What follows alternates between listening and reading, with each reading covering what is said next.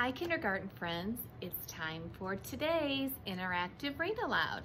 And today's story is called Jessica. It was written and illustrated by one of my favorite authors, Kevin Henkes. Boys and girls, do you remember Kevin Henkes from some of the other books we've read this year? Do you recall him as the author and illustrator of Wemberly Worried? He's also the author and illustrator of a story you listened to the first week of school called Chrysanthemum, one of my all-time favorite Kevin Henkes stories. Well, today we're going to read a book by Kevin Henkes with a human character. And this book is another book in our text set five, The Importance of Friendship. This book is called Jessica, but this isn't Jessica. This little girl's name is Ruthie. That's interesting, isn't it? Usually we find the main character on the front, and if there's a name, it usually belongs to the main character. Let's find out why this book is called Jessica and what happens when Ruthie starts kindergarten.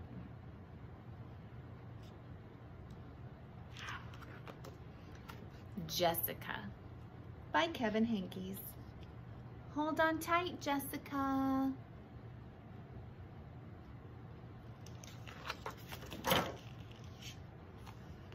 This says, good jump, Jessica. We're almost there, Jessica. For Annie and Jerry and Mac. Jessica is my best friend. Ruthie Sims didn't have a dog. She didn't have a cat or a brother or a sister. But Jessica was the next best thing. Boys and girls, do you see Jessica in the picture? I wonder why not. Jessica went wherever Ruthie went. My toes are cold too, Jessica. To the moon, to the playground, to hi, Jessica, to Ruthie's grandma's for the weekend. Jessica's not ready yet.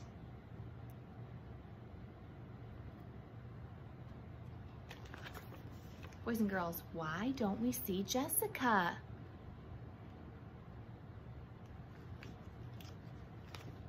There is no Jessica, said Ruthie's parents. But there was. She ate with Ruthie. Careful, Jessica, it's hot. Looked at books with Ruthie. Once upon a time, Jessica, and took turns stacking blocks with Ruthie, building towers.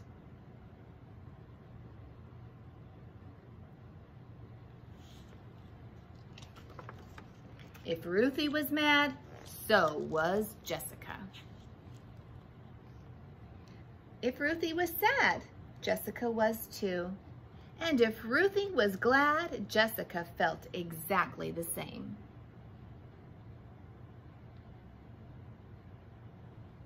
Boys and girls, what do you think? Why are Ruthie's parents telling her there is no Jessica?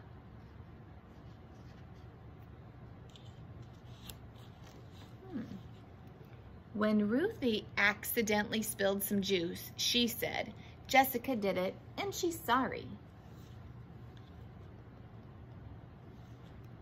When Ruthie's parents called the babysitter because they wanted to go to a movie one night, Ruthie said, Jessica has a stomach ache and wants you to stay home.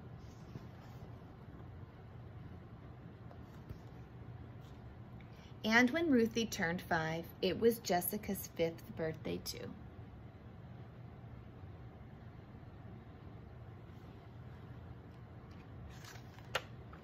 There is no Jessica, said Ruthie's parents. But there was. Boys and girls, notice how this page has the words really big and it takes up the whole space. So that tells us that this is very important. This is a very important sentence in our story. She went to bed with Ruthie. Sleep tight, Jessica. She got up with Ruthie. Rise and shine, Jessica. And she stayed with Ruthie all while in all the while in between. Ready or not, Jessica, here I come.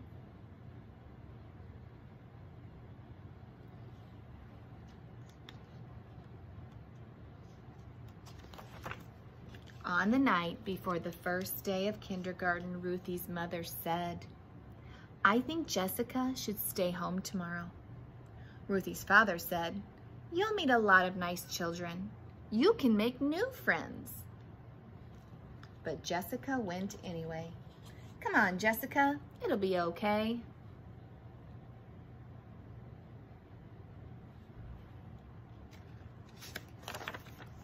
Jessica wanted to go home so badly that Ruthie had to hold her hand and whisper to her. When the teacher announced everyone's name, Ruthie and Jessica weren't listening.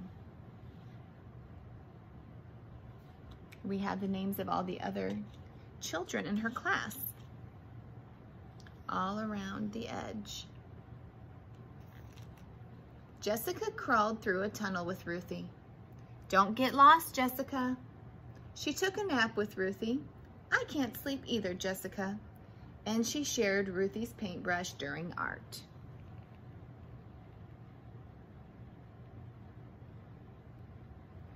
Do you think that Ruthie is having a fun time at kindergarten?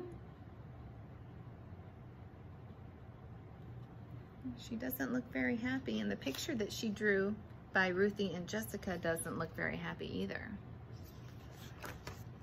When all the children lined up two by two to march to the lavatory, Jessica was right next to Ruthie. The lavatory is the bathroom. A girl came up to Ruthie and stood by her side. Can I be your partner? she asked. Ruthie didn't know what to say.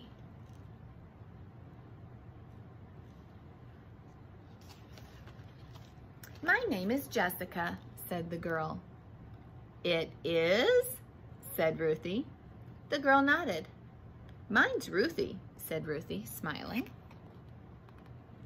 And they walked down the hallway, hand in hand.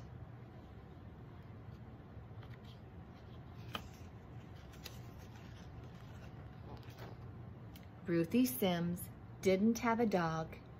She didn't have a cat or a brother or a sister. But Jessica was even better.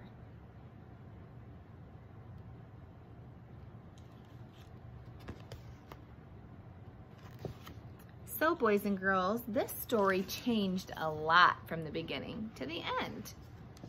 We did hear the same passage at the beginning of the story that we heard at the end that Ruthie Sims didn't have a cat or a brother or a sister, but Jessica was the next best thing. Why do you think that Ruthie has Jessica in her life? And maybe she's lonely. She doesn't have any other children to play with at her house. Maybe she doesn't have any neighbors she can go out and play with.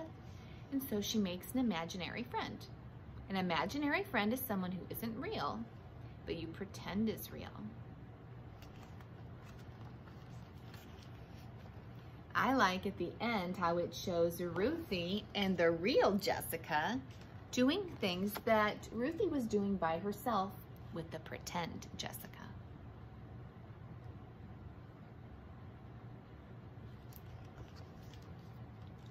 Boys and girls, what do you think Jessica's parents are going to say when they find out that Ruthie played with Jessica all day. Do you think Ruthie is going to explain that Jessica is a real girl? They might think she's talking about her pretend imaginary friend Jessica if she doesn't explain that she has a real girl named Jessica in her class. How does Ruthie feel How does Ruthie feel when she begins kindergarten? I think she's scared. I think that's why she wants to take Jessica with her, even though her parents try to convince her not to take Jessica, that um, she's a little afraid to go by herself and that having her imaginary friend um, might make her feel a little bit better. And I do think she would have noticed there was a Jessica in her class if she was listening to her teacher. Here it says, Jessica wanted to go home so badly that Ruthie had to hold her hands and whisper to her. When the teacher announced everyone's names, Ruthie and Jessica weren't listening. So if she was listening, would she have known there's a Jessica in her class?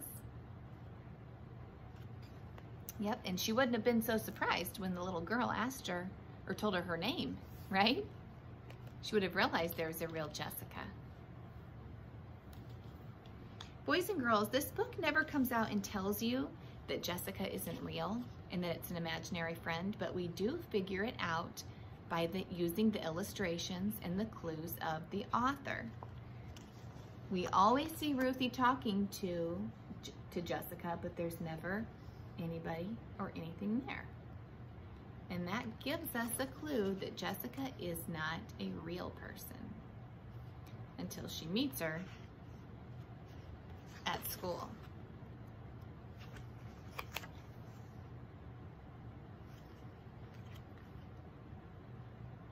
Okay, boys and girls, I hope you enjoyed this book called Jessica, and I hope that you have a great day. Bye.